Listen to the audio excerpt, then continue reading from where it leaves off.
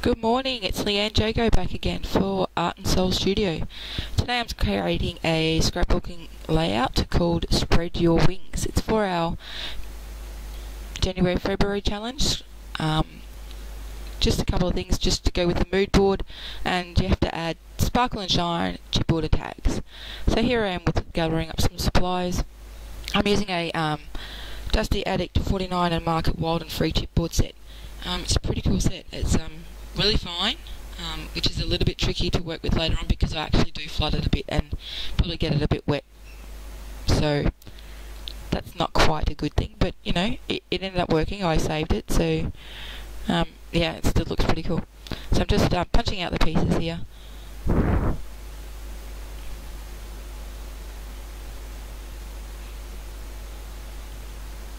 So it is really a, a beautiful set.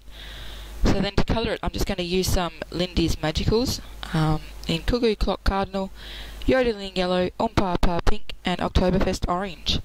Um, so just on a messy mat, um, just sprinkling them, spraying them with water, and then I'm just going to smush the chipboard around.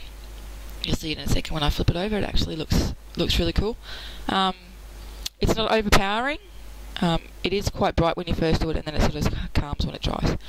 So I'm just layering it setting it aside to try.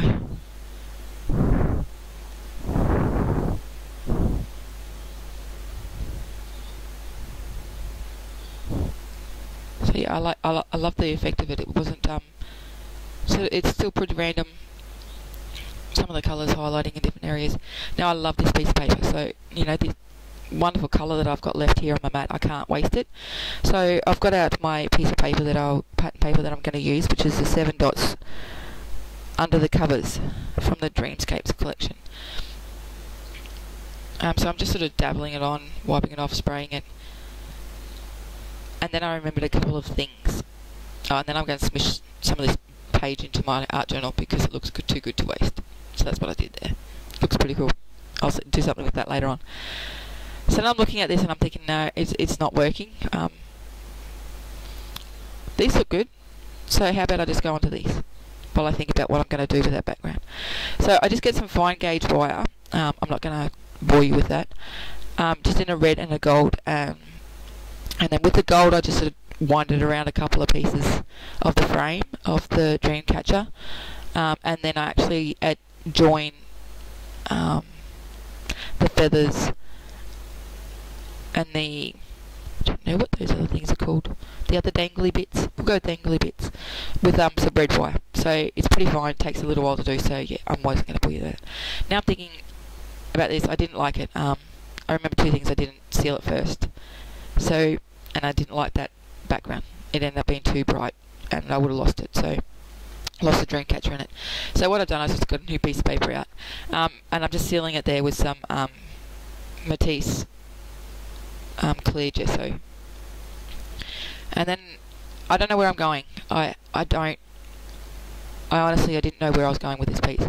So I flipped it over, flipped that piece that I'd ruined, paper that I'd ruined, over and cut some strips out of it, just random sizes. Um, something that Fiona Poultry showed us in the class is that you know sometimes if you don't know where you're going, just cut some strips and go from there. So that's what I did. Um, and then I'm going to use the background that I created, I'll use some of those pieces because they actually look pretty cool like that in those strips. Um, and then some on the other side. And then I'm just um, colouring the edges in a Prima Colour Philosophy ink pad in the Flamingo colour. Okay, so I've got my piece of paper, got my dream catcher, and then I'm like, I like this photo. I only want it skinny.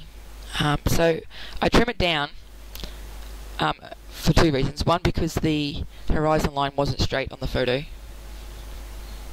which was annoying me a little. And then two, that I knew that I only wanted a skinny piece, so I didn't want to cover that whole um, wonderful piece of chipboard up with a photo. So now I'm looking at thinking it needs to, need, the edge needs doing. Um, I was going to sandpaper it, but then I decided to to just cover it in some of that philosophy um, flamingo colour and then some Stazon black just to give it a border. So now I'm thinking, right, okay, I still want to do some mixed media or something on this background. I can't leave it just plain and clean. Um, I don't do clean very well. Um, so then I've just got out some Tim Holtz Distress ink in the Wild Honey and then Oxide ink pad in um, Fired Brick. And then I'm just um, squirting some of those on and then it wasn't red enough so I've just used some of that um, Magicals again.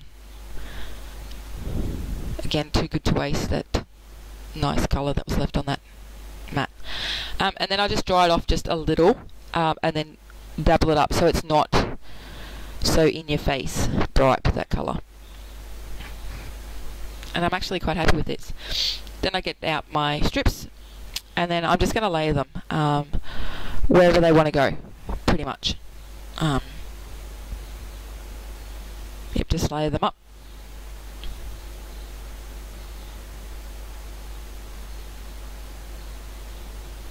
Just pretty randomly.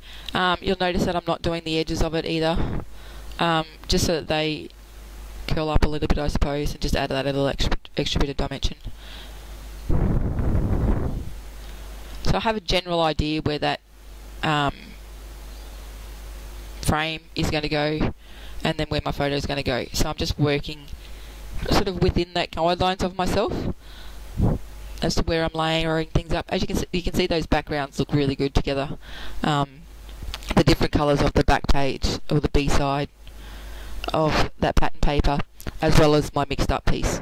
Um, yep, and then I want some different shapes. So I've just got out the Dreamscapes collection again in the 7 Dot Studio using the element stickers and the die cut elements. Um, just cutting some randomly and sticking them on.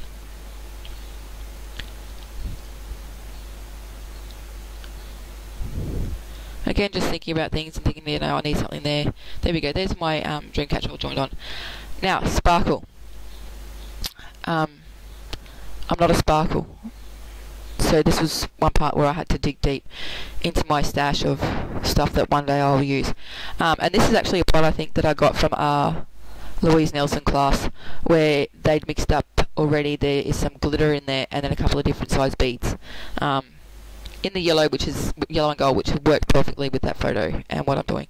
So yeah, just um, apply some gel medium on the background, just in random spots, and then just sprinkle it over, and then let it do its thing. So there seemed to be a lot of glitter down the bottom, so I just needed some more beads down there. Uh, there was a couple of black ones randomly in that collection, that's why I'm getting tweezers out to make sure that the black ones are gone. But yeah, it, it's there's glitter everywhere at this point, you know, and then I while I'm doing anything, and this is why I don't use glitter, because it just goes everywhere. Um, and then I just decided I needed a couple of more elements up the top there. Just wasn't quite balanced enough, I suppose, for me.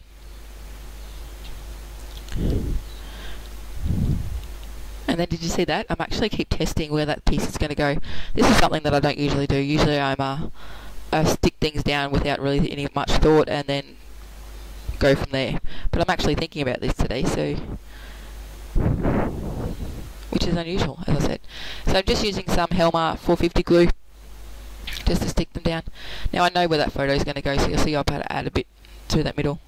And then I'll stick my photo on. No use mucking around with it, may as well just stick it down.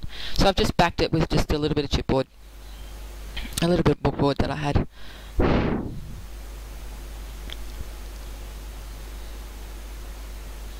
And then I'm thinking, just then when I put that piece, the photo down, a couple of the beads moved, and I'm thinking they look really good up there, so I want to try and add some up there.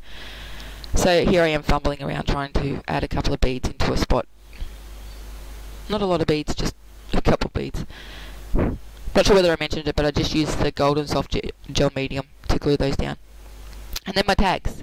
So here I am thinking, okay, should I use the same collection or just go with my plain ones? Again, testing, which is not something I usually do. So I end up with the 7 dot studio. So I just go around the outside of those in the flamingo and that honey, wild honey. And then I just get out some calico, cut a few strips, and then I just tear them and then tie knots in them. Um, you know, you, you could punch holes in these tags and then feed it through and hopefully get it to sit right. But instead I just tied a knot and then stuck it on top. Still works. Well, I think it still works. There we go, just adding some of that wild honey. Just needed something extra. Again, testing where they go. And then I'm thinking two. Two. We can't have two. We need three. We always have three. The rule of odd numbers. It's just something that I always like. Um, so I found another one of those um, seven dots ones. Again, colouring it up exactly the same as what I did before.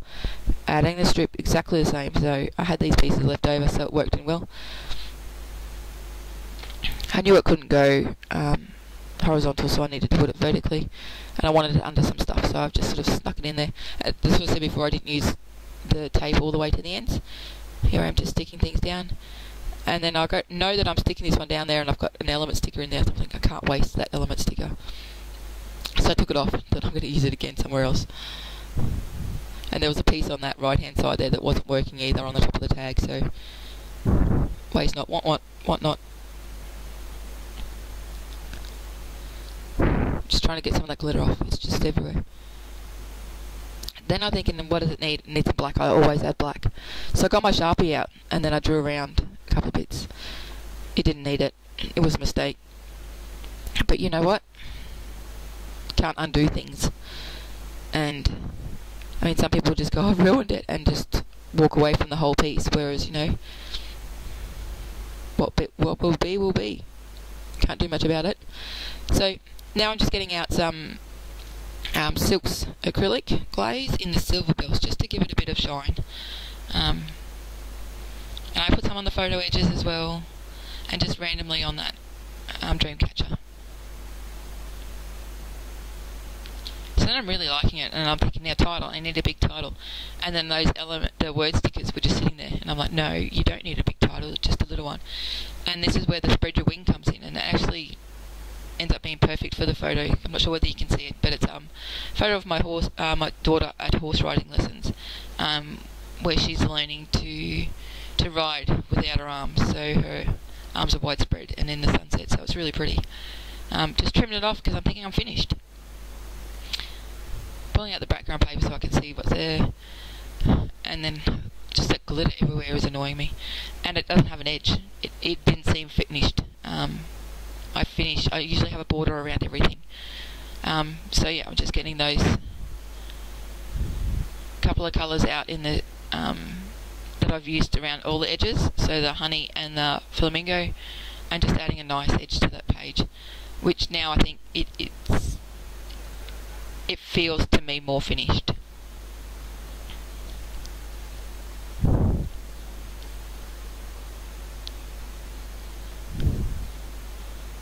And those two colours combined really well, they actually match that background perfectly. So here I am just trying to get some of that glitter off. Glitter is everywhere, absolutely everywhere. Reminding me why I don't usually use glitter. But anyway, so that's it, all finished. Thank you. Um, I'll just leave you with some close-ups now.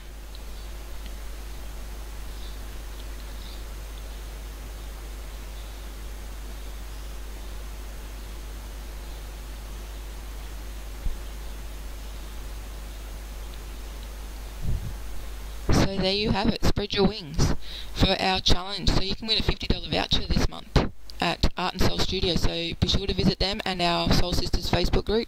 Please like, comment and subscribe. Thank you very